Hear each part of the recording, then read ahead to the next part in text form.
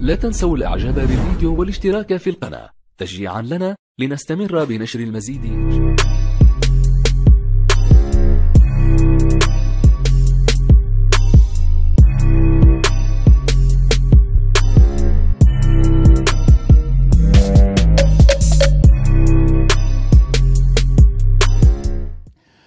النقطة الثانية التي أردت أن أتحدث فيها فيها أن المعلومات التي توفرت لدي أن بعد إصابة الرئيس تم فتح تحقيق أمني بشبهة إصابة الرئيس أو نقل فيروس كورونا إلى الرئيس بصفة متعمدة. فقد رويت لكم في مداخلة سابقة كيف تم نقل الفيروس؟ كيف جاء شخص والجهة طلبوا أحد المسؤولين طلبوا الرئيس رئيس في أمر ما وكانت عنده أعراض تاع كورونا وأيضا كان ثبت لديه أنه مصاب بالفيروس ورغم ذلك أن الجهة قالت له تعال بسرعة وأدخل على الرئيس ولا تخبره بشيء ودخل ويبدو أو أن الرئيس صافحه ربما نقل إليه الفيروس أو أن هناك قصة أخرى لا نعرفها وتفاصيل أخرى لم تصلنا. لكن المؤكد أن المصالح الأمنية فتحت تحقيق حول كيفية وصول الفيروس للرئيس. لهذه اللحظة لم يحدثوننا عن شيء. بالبيان الأول قالوا بأن إصابة إطارات سامية في رئاسة الجمهورية والحكومة ليومنا هذا لم نسمع عن أي إطار سامي في الحكومة رغم المعلومات التي لدينا أن هناك الكثير بل أن هناك من يتواجدون في عين النعجة. وآخر المعلومات وصلتنا أنه لا يسمح للناس دخول عين النعجة لأن عين النعجة تغرق في فيروس كورونا. وأنه في إطارات كثيرة يتواجدون في هذا المستشفى يعني في ظروف الله أعلم بها حتى أن الناس إلا إذا كان واحد عنده موعد مهم كبير وأشياء واحد الإجراءات معقدة. أما مثل ما قبل أنه كل اللي يجي يدخل اللي يجي يدخل ولا العسكري اللي عنده اللي يحب يشوف واحد أو شيء من هذا القبيل صارت متوقفة منذ فترة بسبب وجود إطارات سامية في الدولة الجزائرية وقيادات عسكرية عالية الرتبة. يتواجدون في مستشفى عين نعجة وهناك من تم نقلهم إلى الخارج أيضا في صمت وفي هدوء ولم يتم الإعلان عنه.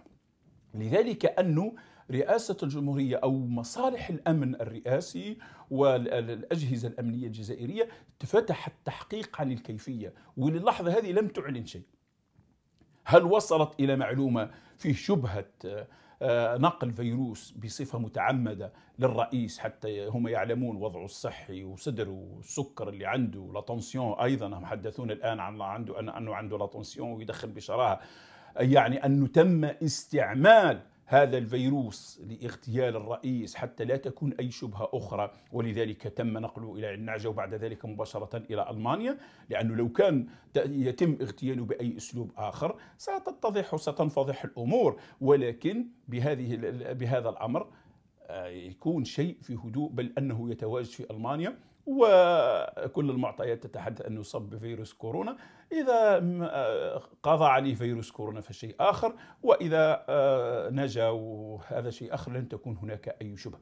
إذا أنه مصالح الأمن أنا لا أؤكد وأقول بأنه هناك تعمد في نقل الفيروس بل أن المعلومات التي توفرت لدي أن مصالح الأمن فتحت تحقيق بخصوص شبهة ركزوا لي جيدا. شبهة نقل الفيروس بصفة متعمدة إلى رئيس الجمهورية. و وهم يحققون. ترى هل سيقولون الحقيقة ويذكرون من هو الشخص الذي احتك بالرئيس ونقل له الفيروس هذا شأن. أما إذا وجدوا الصبغة الجنائية في هذا الجانب فهذا شيء آخر. لحد الآن هناك تكتم شديد عن الأسباب والطريقة التي نقل بها الفيروس للرئيس لأنه لا يمكن أن الفيروس جاء طاير في السماء ودخل المكتب وحوس على الرئيس وراح تبون وراح دخل نقل له عن طريق شخص. هذا مؤكد. إذا من هو هذا الشخص؟ وكيف وصل إلى الرئيس؟ وكيف لم يتم الكشف عنه؟ أنه, أنه, أنه عنده أعراض كورونا أو أنه عنده أعراض كورونا وتكتم عنها هو ولا تكتم عنه الآخر؟ كل الأسئلة مطروحة. هذا إذا وضعنا الرواية التي أتيت بها من قبل حول الطريقة التي وصل بها الفيروس إلى رئيس الجمهورية. إذا هذه المعلومة التي أردت أن أعطيها لكم اليوم. أنه هناك تحقيقات حول كيفية نقل الفيروس إلى الرئيس.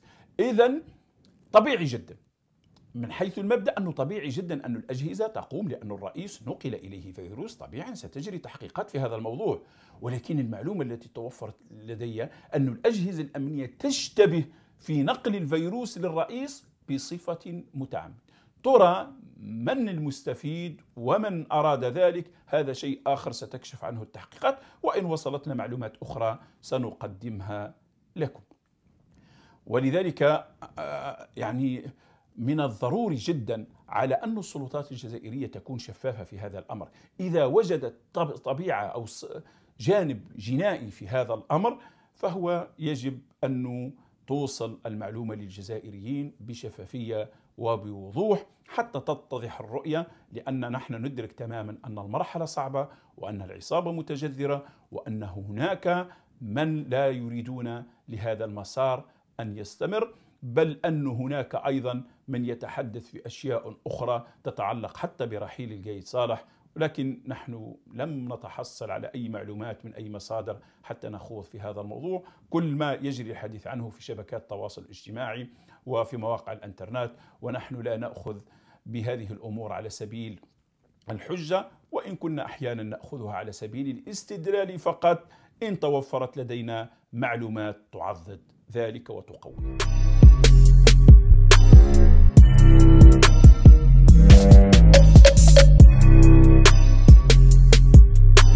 تنسوا الاعجاب بالفيديو والاشتراك في القناة. تشجيعا لنا لنستمر بنشر المزيد إن شاء الله.